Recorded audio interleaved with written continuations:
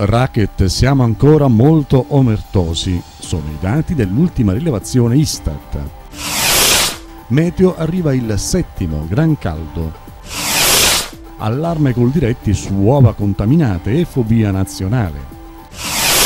Operazione anti-bracconaggio, sequestrati 570 volatili. La canzone per Siso, la colonna sonora del Festival del Jazz di Roccella.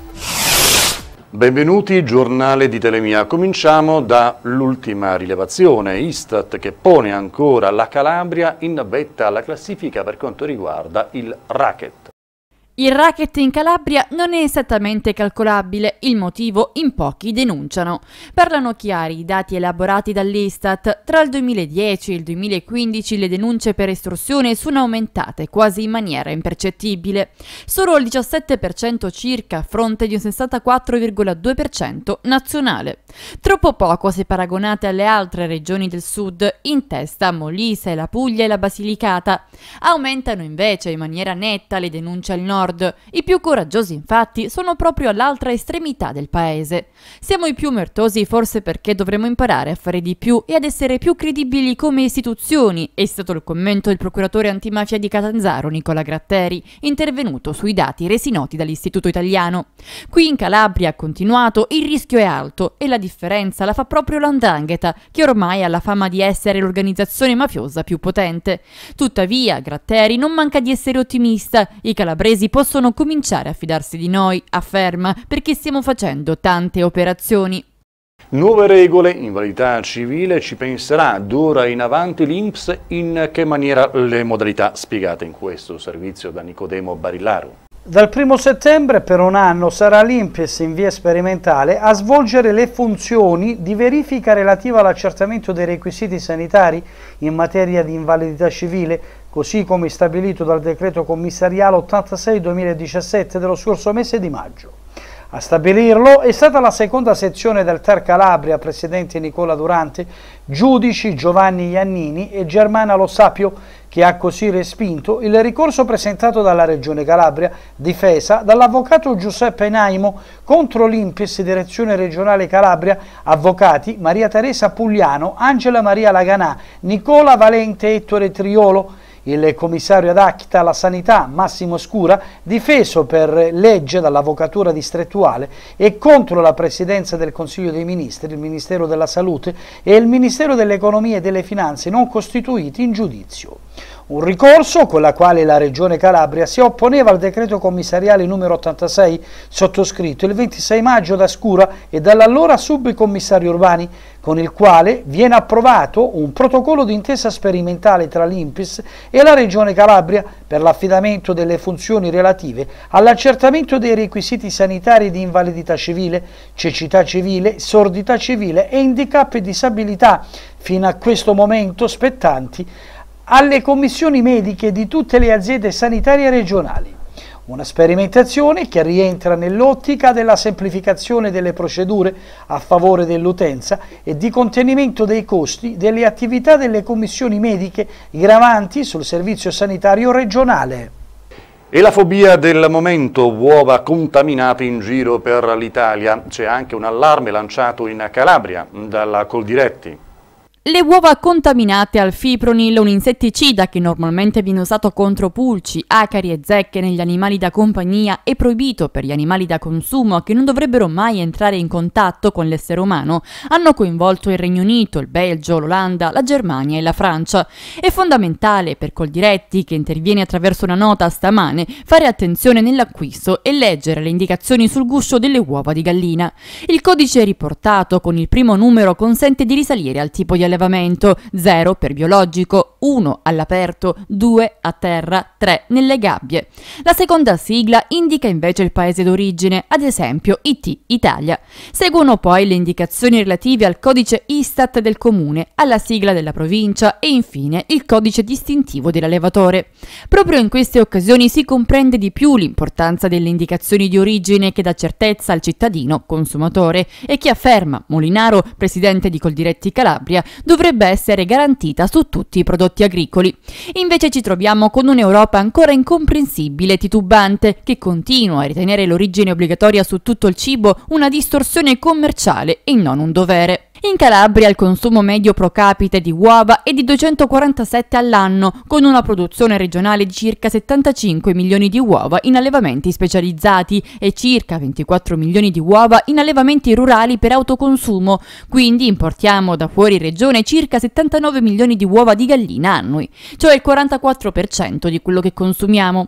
È un comparto che ha performance di crescita soprattutto nelle aree interne. Scegliere quindi Prosegue Molinaro le uova prodotte prodotta in Calabria e in Italia significa maggiore sicurezza alimentare. Gli allevatori calabresi hanno e stanno investendo molto nella qualità della produzione, partendo dal benessere animale fino alla selezione di cereali utilizzati nell'alimentazione delle galline. Una ragione in più per rafforzare la sicurezza alimentare e non rinunciare alla difesa del Made in Italy in Europa e nel mondo, con accordi scellerati come il CETA, che rischia di annullare in modo particolare i primati dell'agricoltura italiana. Per la frescura bisognerà attendere probabilmente delle prime giornate di settembre. È in arrivo la settima ondata di gran caldo. Torna il gran caldo sull'Italia. Dopo un paio di giorni freschi e miti dal clima estivo ma gradevole, da oggi le temperature hanno intrapreso una nuova risalita, più palpabile nelle zone interne del centro-nord e in alcune aree di Sardegna, Sicilia e Calabria. I valori più elevati sono stati di 33 gradi centigradi, registrati proprio a Reggio Calabria. Temperature elevate nonostante gli annuvolamenti sparsi che oscurano il sole in varie località nel cuore del nord e all'estremo sud, tra Calabria meridionale e Sicilia.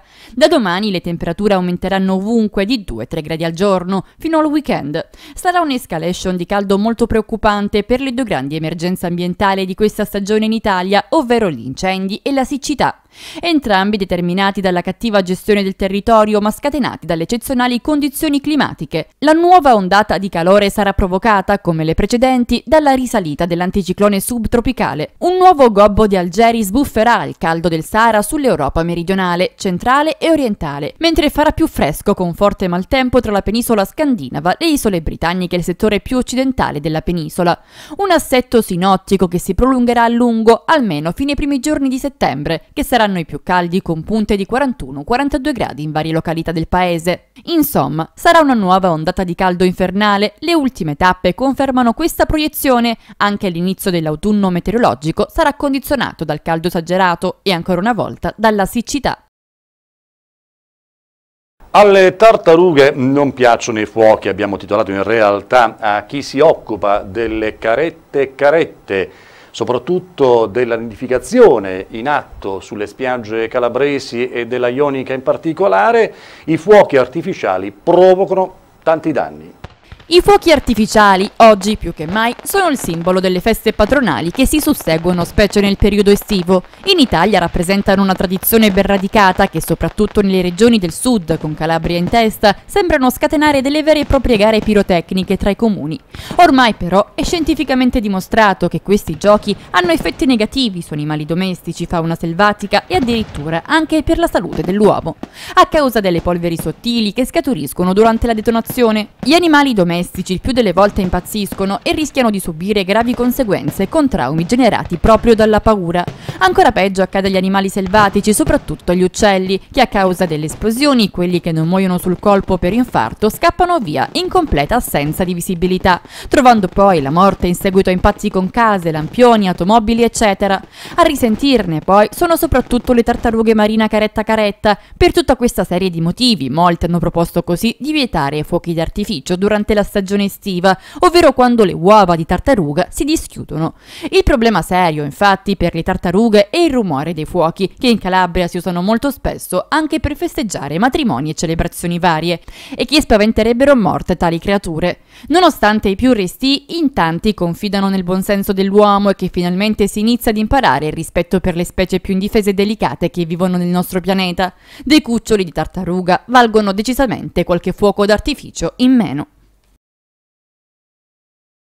Continui attacchi dalla minoranza alla maggioranza, in particolare rivolti al primo cittadino del luogo Fuda. Siamo a Siderno e occupiamoci dell'incandescente situazione politica. Il fuoco incrociato che si sta concentrando sulla maggioranza politica locale guidata dal sindaco Pietro Fuda non sembra impensierire più di tanto il primo cittadino e quelli che in senso ironico vengono definiti i suoi colonnelli. L'ultimo attacco è arrivato dall'ex consigliere di maggioranza, adesso gruppo misto, Vincenzo De Leo. Il sindaco Fuda e compagni in più occasioni hanno sottolineato che alle polemiche preferiscono rispondere con i fatti e i fatti, come non perdo occasione di evidenziare lo stesso Fuda, in ogni incontro pubblico parlano da soli. Sono le opere pubbliche che dopo anni di fermo assoluto sono state realizzate e che si possono mettere sul tavolo della discussione, offrono le migliori risposte, secondo la maggioranza, a quelli che ormai vengono considerati detrattori a ogni costo e che anche di fronte all'evidenza continuano a puntare l'indice sull'amministrazione comunale.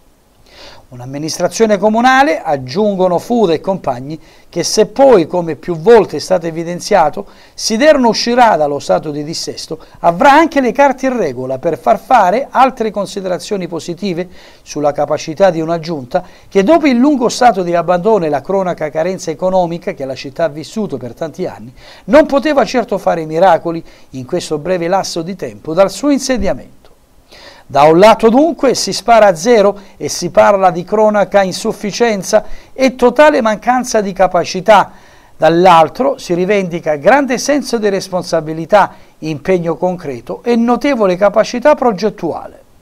Due posizioni nettamente distinte che per certi versi disorientano la stessa opinione pubblica sidernese e che sono troppo distanti per dare totalmente ragione agli uni o agli altri.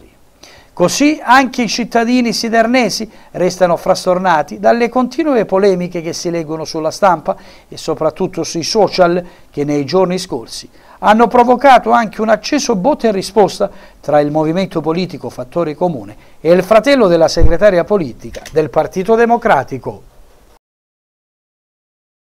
Festival Jazz giunto alla capolinea, quello di Roccella Ionica, ovviamente una eh, quarta serata al Teatro Castello partecipata e con eh, musica di grande qualità.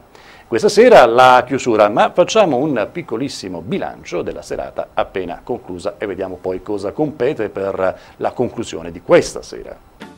È stata la Mad Free Orchestra ad infiammare gli animi ieri a Roccella Jazz Festival, giunto alla 37esima edizione, in compagnia dell'orchestra alla tastiera Seid Mangiaracina, talentuosa interprete e compositrice che vanta grandi collaborazioni tra cui Fabrizio Bosso, Simona Molinari, Massimo Moriconi, Giovanni Tommaso. È stata in tour nei più importanti teatri e festival italiani come l'Umbria Jazz, Auditorium Parco della Musica, al Bullnote di Milano e di New York e ancora al Teatro Estrada Strada di Mosca. La Mid Free Orchestra è un ensemble di musicisti provenienti da mezzo mondo con un sound potente e riconoscibile nel live che ha fatto ballare gli amanti del genere presenti a Roccella Ionica per assistere al concerto unico e coinvolgente.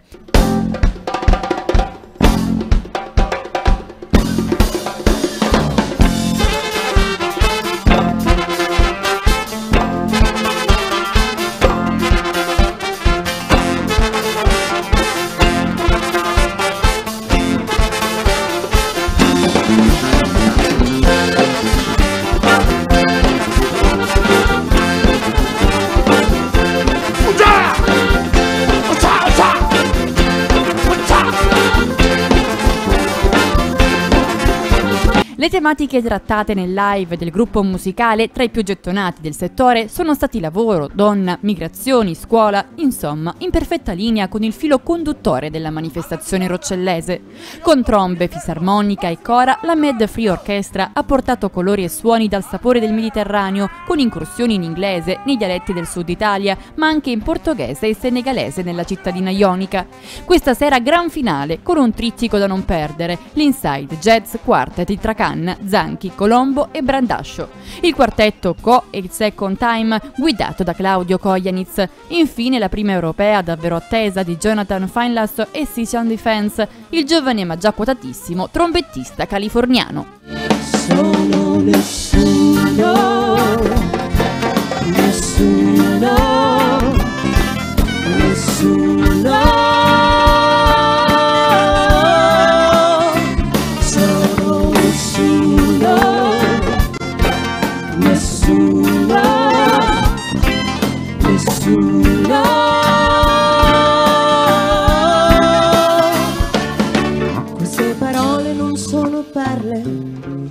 Sono sagome di ricordi. Rischio la pelle, l'unica che ho per affidarmi al mare, madre, madre, tu mi hai scolpito, ora mi vedi morire. Sono un nemico per la tua pace, sono un fastidio per la tua giornata, sono una mano che si aggrappa e poi sprofonda, sono un cumulo di sassi, una porta sfondata. Sono nessuno, nessuno,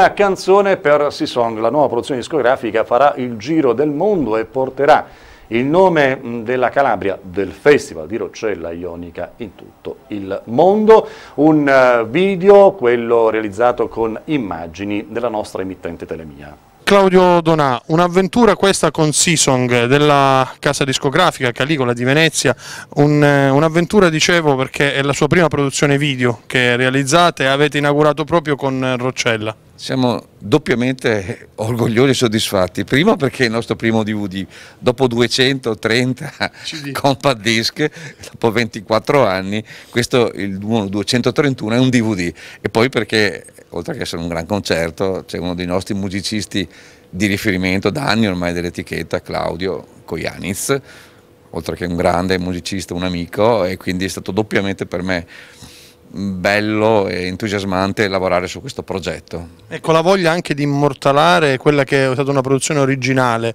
è nata anche diciamo, per ricordare una persona, il senatore Signio Zito, che non c'è più e che ha dato l'anima e non solo, eh, anche economicamente tanto a questo festival che ora invece sta raggiungendo, eh, ha già raggiunto un livello voglio dire, ma ora si sta consolidando e quindi eh, una, una, diciamo, una macchina anche diciamo, artistica, organizzativa che andrà avanti, anche i finanziamenti regionali e statali hanno garantito la continuità. Ma tutti gli appassionati se lo augurano perché ah, Rumori Mediterranei è un punto di riferimento del jazz italiano, lo è stato 37 mi pare edizioni, no?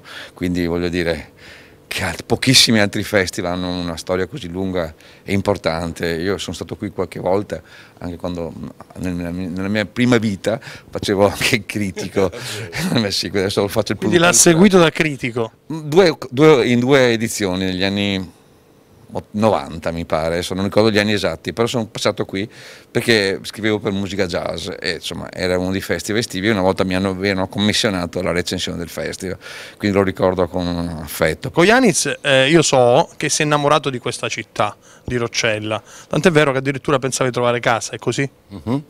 Sì, sì, ho trovato. Ah, già trovato? Sì, sì. Comincio con, eh, fra una settimana perché mi sposto adesso a Napoli per questioni mie, ma col primo settembre sarò Ruceiotto. Quindi un cittadino onorario. Ruceiotto ho detto. Questo l'ha imparato benissimo. allora, è un concerto straordinario, lo, lo- lo attestiamo tutti, è stato emozionante, è stato bello, è stato immortalato. E ora questa presentazione di questo DVD che, anche se ancora i supporti, come diceva il produttore, eh, cominciano ad essere non più di moda, perché ormai con la rete si scarica tutto e da tutto, questo DVD eh, verrà lanciato e nel territorio rimarrà un ricordo anche fisico, possiamo dire così, di quello che è stato quel concerto e a chi era dedicato. Sì, ma a questo proposito, visto che certe cose sono già state dette, io vorrei sottolineare e, riprendo un concetto inconsciamente espresso da mio grande amico Donà sulla prima e seconda vita. Direi che ci, terrei ci tengo a sottolineare questo. Il festival di Rocella ha e sta avendo una seconda vita che io chiamo la rinascita di questo festival. Il Rocella Jazz Festival è un grande evento anche turistico, prima di tutto culturale ma anche turistico, ma la metafora che vorrei usare è questa, il jazz è una musica inclusiva, sa includere, quindi mi auguro che tutte le intelligenze che sanno includere siano presenti in Rocella e auguro al festival naturalmente lunga vita, ma soprattutto questa rinascita che insomma vada avanti. Ecco. Ora Coglianis ha detto tutto, non so cosa vogliamo aggiungere Vincenzo Staiano, perché ce l'abbiamo qua il direttore artistico, ha detto praticamente tutto e ha parlato anche da Ruccio Ioto. Sì, sì, sì, ormai è un Rucciaiotto a tutti gli effetti, Claudio Coianis. Ma non solo lui, adesso c'è una comunità veneto-friulana a Roccella che è stata adottata grazie al jazz, si tratta di collaborazioni. Che, a me piace il sud, mai titolo più appropriato. A me piace il sud, no?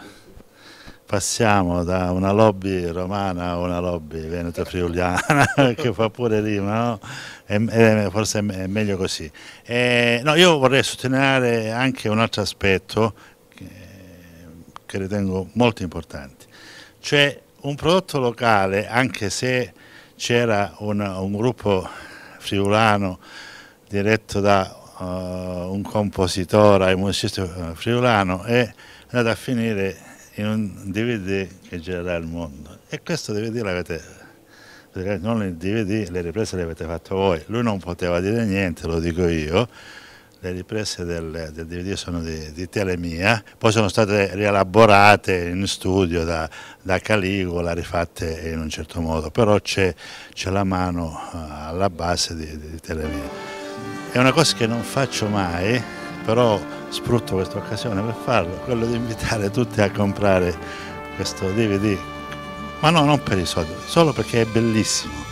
Cioè chi lo comprerà avrà un gioiello in mano e avrà un valore infinito perché queste cose poi durano e acquistano un, un, in un certo senso anche una proprietà particolare perché chi ce l'ha si approprierà di un'idea, di di una situazione molto bella.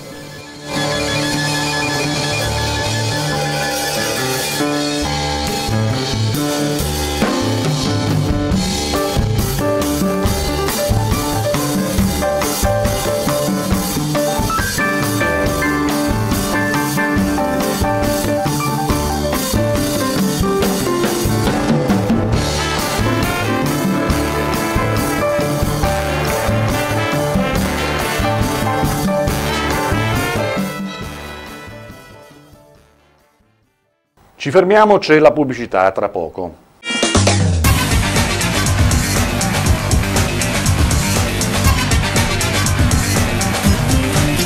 Bentornati in seconda parte del TG, andiamo alla valorizzazione che si farà con tutta una serie di manifestazioni che sono già cominciate al centro storico di Gioiosa Ionica.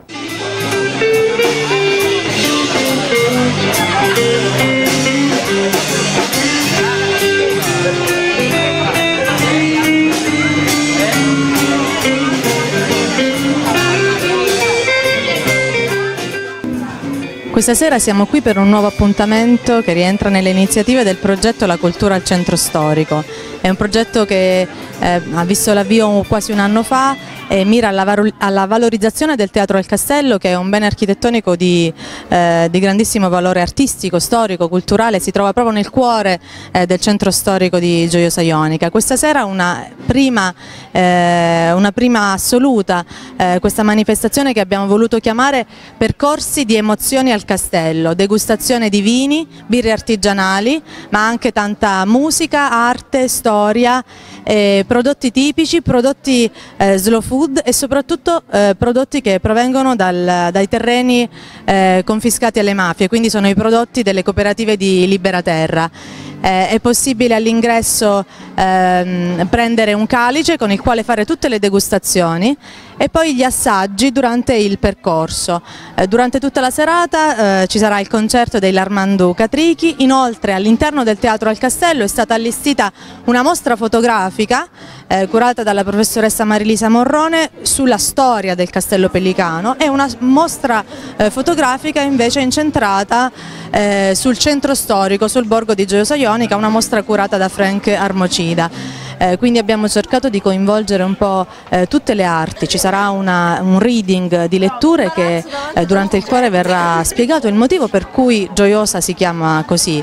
Eh, il, il, nome Gioiosa è legato al, al romanzo di Tristano Isotta perché eh, Tristano, eh, una volta espugnata una città che si chiamava Dolorosa Guardia, che era una città molto bella, viene descritta in maniera molto eh, suggestiva, chiama questa città Gioiosa Guardia e quella città sarà proprio la città in cui lui andrà a vivere insieme alla sua amata Isotta, quindi eh, un gusto eh, molto romantico, molto suggestivo che ci ricorda il motivo originario eh, per cui Gioiosa si chiama così. Dobbiamo ringraziare il professore Naimo, il Circolo di Studi Storici Le Calabre, ma anche il gruppo teatro Grotteria Onlus e anche eh, Battente Italiana, oltre che naturalmente l'associazione Don Milani eh, che è l'associazione capofila del progetto.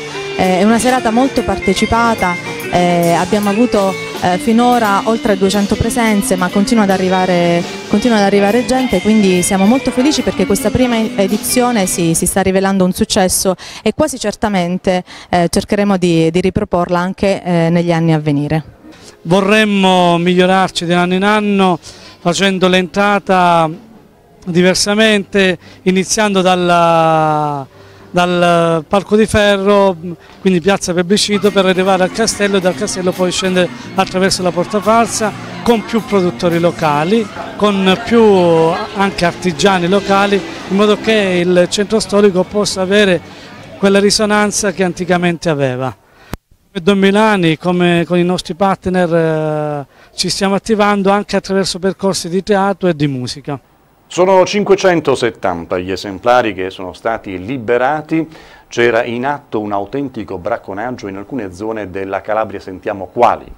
I militari della stazione Carabinieri Forestale di San Roberto, dipendente dal gruppo Carabinieri Forestale di Reggio Calabria, hanno effettuato in contrada Lupina di Villa San Giovanni un'operazione anti-bracconaggio. I carabinieri sono stati allertati dai volontari dell'associazione Guardia per l'Ambiente di Reggio Calabria. RF, di 69 anni con precedenti specifici, è stato pertanto denunciato a piede libero per i reati di ricettazione, maltrattamento e uccisione di animali e per la violazione della legge sulla caccia, in quanto deteneva deteneva illegalmente in un casolare di campagna nella sua disponibilità, al fine di porli successivamente in commercio circa 570 esemplari di avifauna selvatica protetta. Si trattava in particolare di esemplari di cardellini, verdoni e fringuelli, tutti appartenenti alla famiglia Fringilliade, e rigorosamente protetti dalla Convenzione di Berna e dalla direttiva Uccelli, detenuti in 11 gabbie non idonei alla loro caratteristica e quindi alla loro natura. Purtroppo per 20 di essi si è dovuto constatare il decesso. I rimanenti 550 esemplari posti sotto sequestro unitamente alle gabbie sono stati liberati e reimessi in natura su disposizione dell'autorità giudiziaria competente. Si stima che la vendita degli esemplari di avifauna illegalmente detenuti avrebbe potuto determinare un profitto di circa 20.000 euro. Il gruppo Carabinieri Forestale di Reggio Calabria invita la popolazione a segnalare eventuali azioni in danno della fauna al numero di emergenza ambientale 1515. A Vibo una vasta piantagione di canapa è stata sequestrata. Bruciato il raccolto, sentiamo sull'operazione delle forze dell'ordine. I carabinieri della stazione di Santa Eufemia d'Aspromonte, in sinergia con il personale dello squadrone riportato Cacciatori Calabria e del quarto reggimento carabinieri a cavallo, nel corso di un predisposto servizio di controllo del territorio in area boschiva, coordinato dalla compagnia carabinieri di Palmi diretta dal capitano Antonino Spinnato, hanno tratto in arresto Fedele Vincenzo, 38enne del luogo, noto alle forze dell'ordine, poiché in un fondo agricolo di sua proprietà sito in Santa Eufemia d'Aspromonte Contrada Meladoro, località Ficarazzi, veniva rinvenuta una piantagione di estensione pari a 100 metri quadrati, composta da circa 170 piante, verosimilmente del tipo cannabis indica, di altezza media di circa 1,50. Il peso complessivo in chilogrammi è di 68, il perfetto stato vegetativo unitamente ad attrezzi agricoli vari e ad un impianto di irrigazione in pieno stato di efficienza, collegato illecitamente alla pubblica rete idrica. Lo stupefacente avrebbe fruttato sul mercato della droga illeciti profitti sino ad un importo di circa 100.000 euro. Le piante, previa campionatura, sono state distrutte sul posto, mentre i campioni prelevati, su disposizione dell'autorità giudiziaria, sono stati sequestrati e saranno successivamente trasmessi ai RIS di Messina.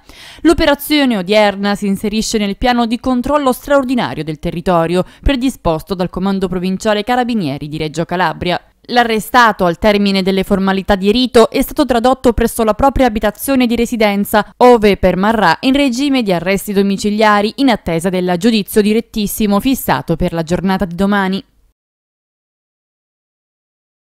Ancora feste popolari, patronali, andiamo a Seminara e vediamo le immagini qui della celebratissima festa locale.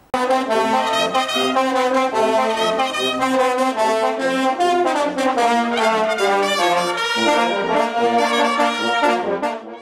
Oggi a Seminara si respira aria di festa in quanto la festa del Santo Patrono, però allo stesso tempo è un momento di sinergia con la raccolta degli, degli altri sindaci dei comuni de, della città metropolitana. Oggi si respira aria di festa perché è festa, oggi per noi seminaresi è il giorno della massima espressione religiosa, è la festa della nostra Madonna dei Poveri, quindi per noi è un giorno diciamo, di raccoglimento nella fede, di, nel ricordo di quella che è la nostra storia, la nostra tradizione, in questo caso religiosa ma anche civile.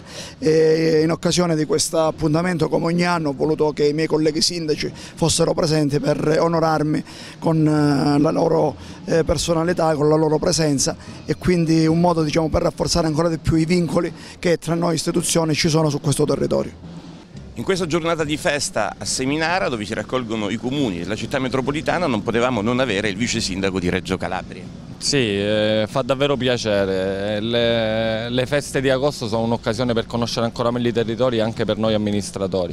Ieri sono stato a Taurianova, l'altro giorno a Bagnara, oggi a Seminara, fa davvero molto piacere anche perché Giovanni Piccolo è un amico per cui fa ancora più piacere essere qui presente oggi.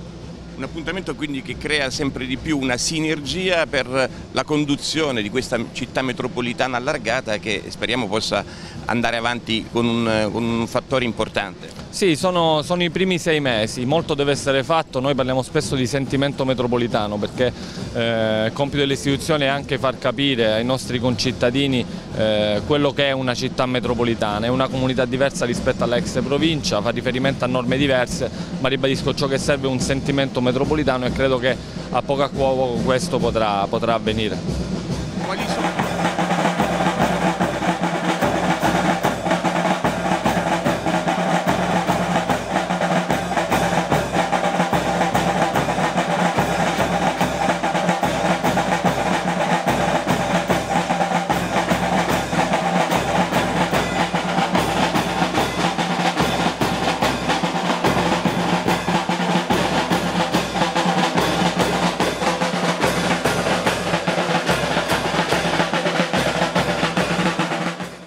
Successo della rappresentazione teatrale con Enzo Colacino e Gregorio Calabretto organizzata dall'associazione Dietro le Quinte, siamo al teatro a Bivongi.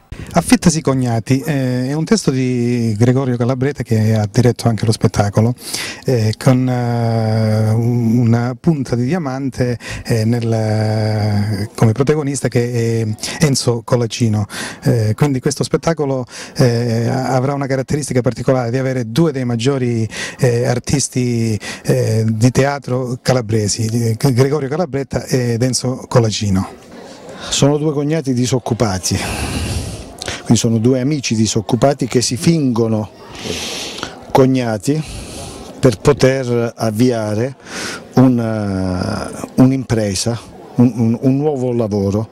E questo li, eh, li, porterà a combinarne delle belle a casa di un signore, di un ipotetico ingegnere che si rivolge alla loro agenzia per eh, verificare se ci sono i requisiti per vincere eh, le imminenti elezioni comunali nella città di Catanzaro.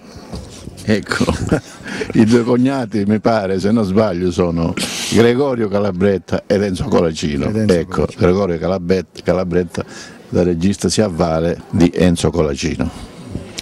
Sì, ci siamo incontrati in un momento mm, poco fortunato della nostra vita, che io uscivo da un episodio un po' eh, eh, triste visto che avevo avuto un uh, urgente bisogno di, di, di fare ricorso alla, ai nostri bravi medici di, di, Germaneto, lui ha avuto più o meno lo stesso episodio, ci siamo incontrati e abbiamo detto perché non proviamo a, a, a vedere se riusciamo a divertirci assieme. Secondo te cosa manca al teatro calabrese per decollare? Eh, forse non è che manchi eh, eh, qualche cosa al teatro per decollare, eh, più che altro c'è eh, non tanto più la passione di fare teatro per fare teatro quanto fare teatro per fare soldi. Eh, se vince la cassetta non hai eh, l'impegno di fare ricerche su quello che è il dialetto, su quelle che sono le tradizioni. Purtroppo la presunzione di pensare che dopo un paio d'anni che fai teatro in eh, dialetto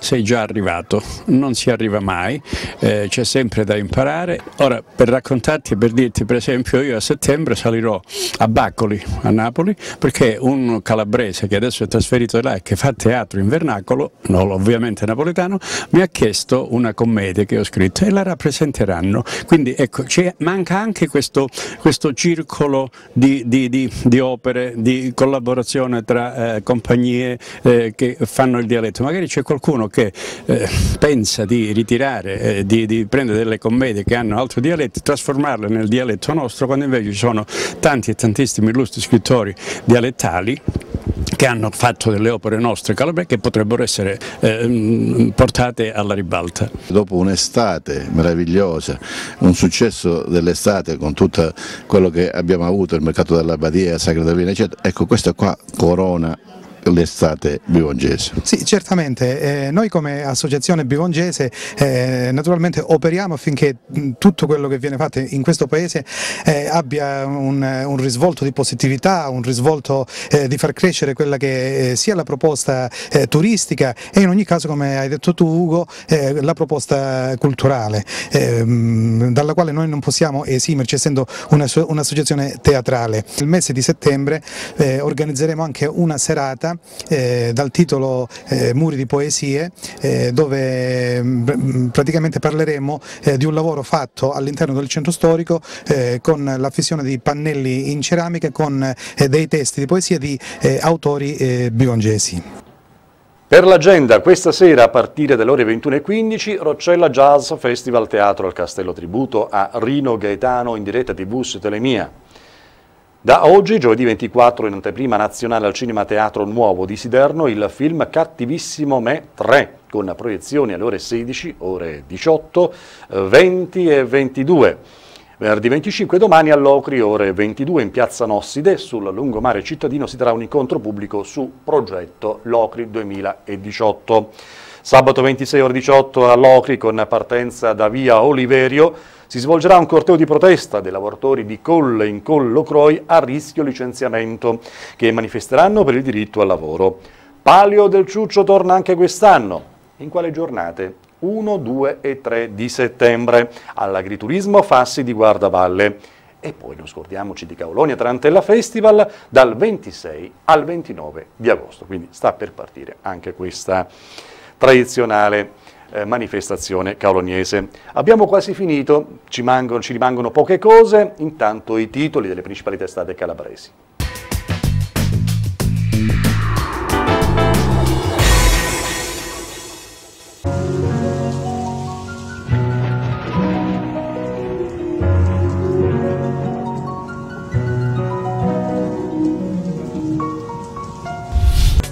Previsioni per oggi. Al mattino, sulle coste, schiarite con transito di velature sparse. In montagna, bel tempo con cieli sereni. Nel pomeriggio, sulle coste, schiarite con transito di velature sparse. In montagna, cieli nuvolosi per il transito di estese velature. Previsioni per domani. Al mattino, sulle coste, bel tempo con cieli sereni. In montagna, bel tempo con cieli sereni. Nel pomeriggio, sulle coste, bel tempo con cieli sereni. In montagna, bel tempo con cieli sereni.